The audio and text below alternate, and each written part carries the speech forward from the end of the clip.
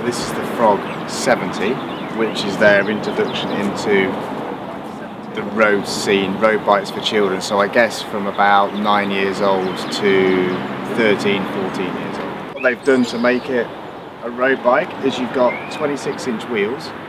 So that's the same size as an adult mountain bike, but it's smaller than a standard adult road bike, so it fits. Um, the cranks are 140 mils long, so they're a lot shorter.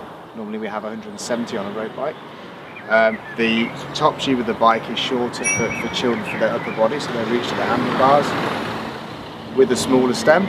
Um, and for ease of braking and safety, we have a set of brakes here, and we also have a set of brakes on the tops.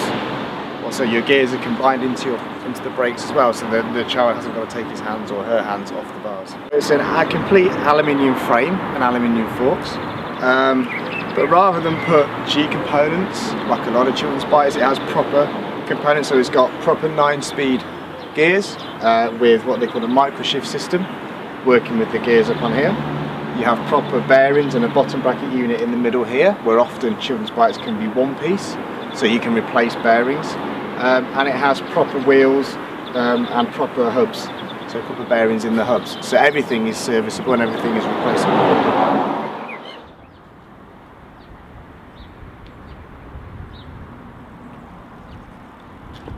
I really, really like the seat. Was really, really comfy and I can't help noticing like how good all these components are. They're really, really high quality and they look really, really durable and I really like that.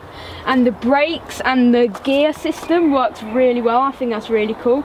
So when you're riding the bike, you can like sort of have it all in one handful. I really, really like this bike and it's really, yes, really, really good. It really stands out with the green and then the frog all um, across it. I really think that looks really cool and it's really shiny and really, really high quality. This is really good for like when you go for a ride, say um, in the countryside, like just riding, say at Rutland Water. It's really, really good. And I like the way that the wires come through the like frame of the bike. I think that's really cool. So you don't have all the wires hanging down. That's a really, really cool feature. It's a really good way to ride a bike and I think it's um, more of an, a way to exercise than rather than do, than going on your BMX just because it's more I don't know but it just you feel a bit like you're doing a bit more and it's like where people say it's a bit complicated with all the gears but actually it's really really nice